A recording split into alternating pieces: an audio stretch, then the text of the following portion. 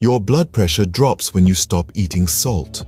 Sodium, found in salt, can cause high blood pressure by holding excess fluid in the body, creating an added burden to your heart.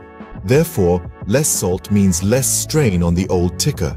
Your kidneys function better when you stop eating salt.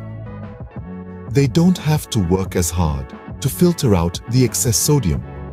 This means they can focus on their other tasks, like regulating your body's fluid balance and keeping your blood pressure in check. Your risk of kidney stones drops when you stop eating salt.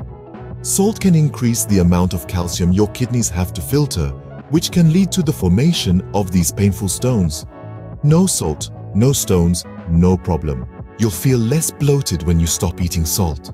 Salt can cause water retention, which makes you feel bloated. So cut the salt and cut the bloat. You'll feel more energetic when you stop eating salt. Salt can make you feel sluggish because it causes fluid retention. Less salt means less fluid retention and more energy. You'll be less thirsty when you stop eating salt. Ever notice how you always want water after eating a bag of chips? That's because salt makes you thirsty. Cut the salt, cut the thirst. You'll get fewer headaches when you stop eating salt. Some research suggests that high sodium intake can trigger headaches. Less salt might mean fewer headaches. There's a decreased risk of stroke and heart attack when you stop eating salt. High salt intake is linked to high blood pressure, which can lead to these serious conditions. Your chances of getting stomach cancer decrease when you stop eating salt. Salt can damage the lining of the stomach, which can lead to cancer.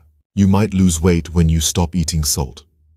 Salt doesn't cause weight gain, but it can make you feel hungrier and thirstier, so you might eat and drink more. Your bones will thank you when you stop eating salt. Excess salt can cause calcium loss, which is bad for your bones.